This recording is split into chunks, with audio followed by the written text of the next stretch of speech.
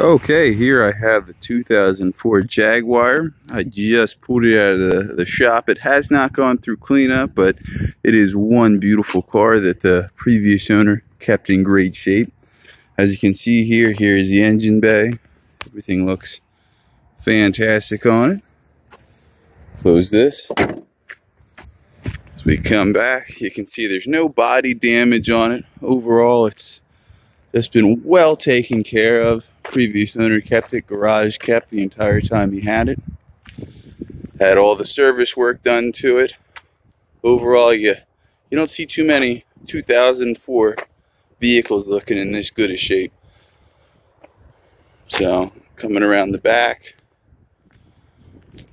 everything looks fantastic. The top works perfectly as it should. The tires have a ton of tread depth on them. As you can see,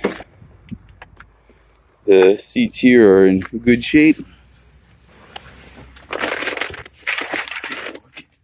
the passenger seat here. And you gotta look at the rear seats back here. And you've got all your heated seats and other features there. Overall, it is just one really nice vehicle. So take a look at it. Let me know what you think. And I look forward to hearing back from you. Have a great one.